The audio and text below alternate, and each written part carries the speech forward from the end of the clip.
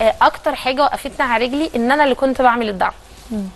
يعني آه، آه، المرة دي بدي دعم وأنا في الموضوع فالإحساس مختلف جدا والإحساس صادق جدا والناس متقبلة ال- الموضوع مني جدا. يعني أنا لدرجة إن أنا كنت رحت 57 آه، من غير باروكة من غير أي حاجة. وشعري واقع وقعدت ارقص مع الولاد الولاد اخدوا ثقة في نفسهم جدا حبايبي واللي كان لابس شابوه شايله اللي كان لابس كاف شايله وقعدوا يرقصوا معايا. لا الموضوع مختلف جدا. كنت لما بشوف الأطفال اللي هم مرضى السرطان وقد إيه متفائلين بيا وألاقيه كله عايز يتصور معايا روحي. كنت بحس لا أنا ليا دور إن أنا أخلي الناس دي تحس بتفاؤل وإن تحس ان إن ده مش نهاية العالم. ولحد دلوقتي هم أصحابي. يعني لحد دلوقتي الأطفال اللي أنا كنت برقص معاهم لحد دلوقتي أصحابي. وبنتكلم مع بعض بزورهم في البيت. يعني إحنا بقينا عيلة. يعني مش مجرد بس دعم. إحنا بقينا عيلة. وما بيشوفوني بقيت أحسن بيتبسطوا. آه، على فكرة حتى جالي سرطان تاني. يا جماعة على فكرة الموضوع ما يخوفش إن هو يجي لي تاني. ولو جالي تالت برضو أنا عارفة إن أنا هقدر عليه.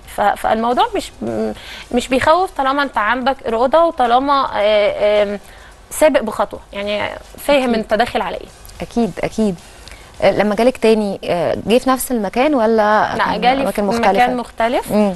آه وبرده جات لي نفس الشوك بس طبعا مش زي الأول بس هي. جات لي طبعا نفس الشوك آه لا أنا مش هاخد علاج تاني وخلاص أنا بقيت كويسة لدرجة إن أنا في وقت قلت لا أنا مش مش هاخد علاج بقى يعني هسيبها كده. بس هو يعني زي ما قلت لك خد يعني وقتك. بتعدي بتعدي بلحظات ضعف بتعدي بلحظات استسلام صح؟ عشان أكيد برضو وإحنا بيسمعنا في ناس صح. بتحس بالذنب إن هي ممكن تستسلم. طب ما أنا أنا كده يعني مثلا مش مش بحب ولادي أو مش بخاف على اللي حواليا. فبيستسلم من ال... من من كتر التعب أكيد برضو. يس. وأنا على فكرة اللي بيقول لي كده بقول له عندك حق. مم. عندك حق تحس بكده. وعندك حق تبقى عايز ما تكملش. وبقول بصراحة أنا بقول له لو مش عايز تكمل ما تكملش. بس أنت ممكن ممكن تكمل وتكسب حياة حلوة قوي. يعني هو في كل الحالات يا جماعة أنا عايزة أقول لكم في كل الحالات إحنا مش هنعيش زيادة يوم ولا هنموت ناقصين يوم. صح. بس هي بناخد بالأسباب بس ان هو العلاج آه، هيخلينا أحسن شوية. آه متعب جدا وصعب جدا ويخلينا ن- شعرنا الحلو يروح رموشنا تروح ممكن ضوافرنا تروح. يخلي شكلنا مختلف. على فكرة يا جماعة أنا كنت حلوة قوي قبل العلاج انت زي القمر. انت. ما شاء الله عليكي انت فعلا زي القمر. بيخلي شكلنا مختلف بس أنا خايفة الناس ما تصدقش إن انت كنتي محاربة أساسا. من ما شاء الله يعني. حدش بيصدق. أنا على فكرة داخلة على إشعاعي كمان الفترة الجاية. يعني أنا اوريدي داخلة على إشعاعي هو لسه انت دلوقتي بت... وأنا جالك محاربة للمرض أنا. على فكرة آه. عاملة عملية من شهر ونص. آه. يعني- حبيبتي ما شاء الله آه. عليكي لا يعني إن شاء الله ربنا يتم شفاكي على خير. يعني فعلا. إحنا حاليا في معركة. yes في معركة دايرة دلوقتي. حقيقي صحيح. okay. أنا ب... أنا بصراحة أنا بعتبر. السرطان حاجة كده شبه ال... الاحتلال وأنا فلسطين. ففي يوم من الأيام فلسطين هتنتصر أكيد. فأنا هنتصر كده. كده. يعني مهما الموضوع طول ومهما حصل تاني ومهما حصل تالت أنا مش هستسلم يعني فاهميني؟ ف... فان شاء الله هكمل ولو جالي تالت هكمل. الموضوع مش يخوف يا جماعة. طالما قدرنا مرة هنقدر اتنين وهنقدر تلاتة وهنقدر عشرة. الفكرة بس هي إرادة. أه. آه، إرادة وإن إحنا نتخطى ال- الصدمة الأولى. تخطيناها وانس إن إحنا خلاص تخطينا الموضوع لأ هنلاقي نفسنا أقوياء. ما نسيبش نفسنا للحزن.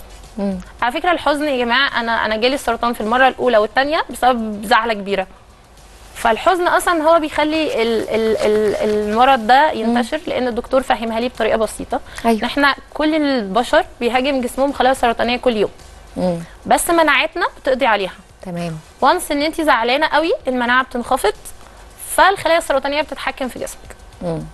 فالزعل آه، هو مش سبب مباشر بس أحد أسباب ان إنه فعلا ممكن يجي أحد للبني أسباب الناس غفلانة عنها وفاكرة إنه بيتقال كده وخلاص لا. لا ده حقيقي والله يس. ده ده حقيقي. حقيقي فعلا. الزعل فالزعل مش هيحل. حاجة.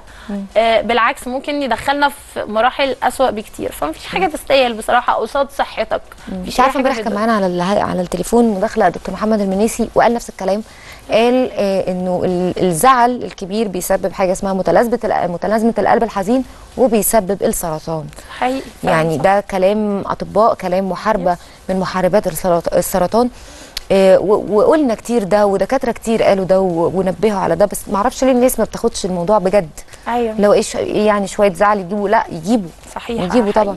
يضعفوا مناعتنا صحيح يخلوا الواحد زي ما الواحد بيحس أعتقد يعني يا شيماء إنه زي ما الواحد بيحس إن هو وهو زعلان إن هو مش قادر يكلم حد مش قادر يقوم يتعامل مع الدنيا أو مش قادر يشتغل أو أو جسمه كمان من جوه ما هوش قادر يقاوم. الحاجات صح، صح. المؤذية اللي ممكن ت... صحيح الجسم بيحزن أصلا عليكي. فاللي هو. بيبقى خلاص استسلم لكل حاجة. أي حاجة تحصل مش. مشكلة. انت داعمة دايما داعمة. لما لما اتقلب الموضوع مين اللي كان حواليكي أكتر؟ آه، الناس اللي حواليكي آه، آه، أهلك آه، زوجك الولاد ولادك عاملين إيه؟ بتعملي معاهم إيه في الوقت في الأوقات اللي بتروحي تعملي فيها الإشعاع؟ تفاصيل كتير برضو حابة إن أنا أعرفها منك. بصي هو هو ناس كتيره واقفين جنبي بصراحة يعني. بس والله هو مش كلام انشا بس أنا بحس فعلا أكتر حد واقف جنبي دايما هو ربنا. طبعا. بيسخر لي الأسباب والأشخاص وسبحان الله ممكن يغير لي الدنيا في ثانية. إن هي تسندني. بتمر علينا كلنا أوقات صعبة وأوقات كتيرة بنبقى لوحدنا في حاجات كتيرة. بس بتلاقي ربنا يهيئ لك كده الأسباب والأشخاص ان انت تسندي ان انت تقفي ان انت ما خلاص تستسلمي تلاقي بوش من هنا وبوش من هنا لا انت قادرة تكملي. فهو مش هقدر أقول على حد معين لأن في ناس كتيرة كانت بصراحة واقفة جنبي ومش عايزة انسى حد في حد يزعل. بس هو ربنا اللي بيهيئ كل الاسباب والاشخاص آه طبعاً. آه آه انه انه فعلا بتاخدي الدعم الحقيقي من ربنا. بتحسي إن انت إيه ده؟ لا أنا قادرة أكمل. بتبقي قاعدة مكتئبة وخلاص مش هكمل. تلاقي نفسك مرة واحدة ربنا بعت لك كده زي روح كده لا أنا هكمل وأنا هقدر. فأنا بالنسبة لي كان ربنا أكتر داعم ليا الصراحة. طبعا طبعا ونعم بالله. آه ولادك دلوقتي أعمارهم قد إيه؟ يعني مدركين يعني لل لل لل بس أنا؟ هحكي لك حاجة ظريفة. أنا أنا أصلا جالي كانسر. يعني ابني لسه ما كانش لسه صغنن خالص ما بيتكلمش. اللي هو أول مرة. آه آه فأفتكر وقتها ما شعري هو إحنا بنشيل شعرنا بعد أول جلسة لأنه بيقع. بتبقي زعلانه عليه. فأنا لبست cap كده وندهت لبنتي قلت لها بصي هي مامي شعرها أنا already كنت مهيئاهم نفسيا لأن أنا فاهمة في الموضوع فقلت لهم مامي هتاخد علاج شعرها هيقع. مم. فاما حصل كده لبست طاقية وندهت لبنتي قلت لها مامي شعرها وقع. هل مامي وحشة؟ قالت لي لا مش هتبقي وحشة. فقمت شايلاها هي اتاخدت لثانية كده بس قامت حضناني وقالت لي انت حلوة. ابني. أول ما شلت الكاب بقول له ها مامي حلوة ولا وحشة؟ قال لي وحشة البسيه كان لسه يا حبيبي يا حبيبي.